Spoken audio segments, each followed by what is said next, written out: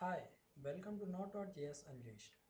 This is a penetration testing course about pen testing and understanding the vulnerabilities and their impact while deploying a Node.js application. Uh, I am the course instructor. My name is Muhammad Adil. I'm a freelance programmer, also developer of Pentester Toolkit and Hostifier.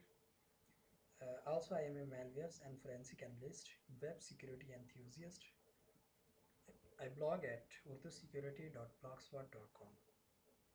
Apart from that, I am uh, founder of White Conference Pakistan. Let's move to our course contents. What exactly Node.js is?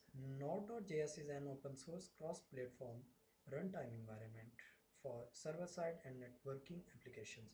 This is the definition taken from uh, Wikipedia.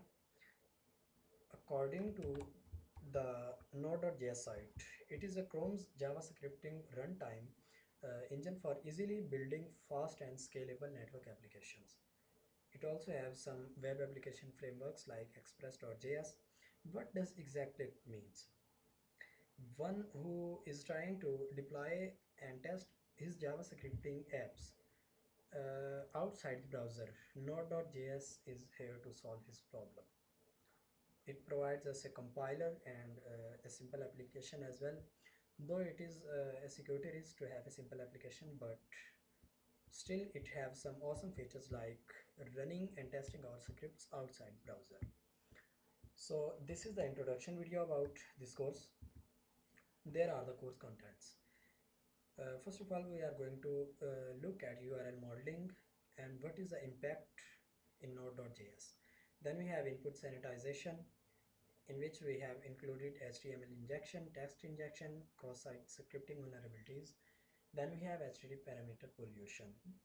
Uh, basically, couple of vulnerabilities there are uh, node specific like URL modeling, uh, REDOS, etc. Uh, then we have SQL injection, local file inclusion, MITM with self-signed certificates, uh, and much more that will be covered in this course and in case of any problem you guys have an option to send me an email or you have to post the comments as well. Hope you guys will enjoy this course. Leave your feedback. Good luck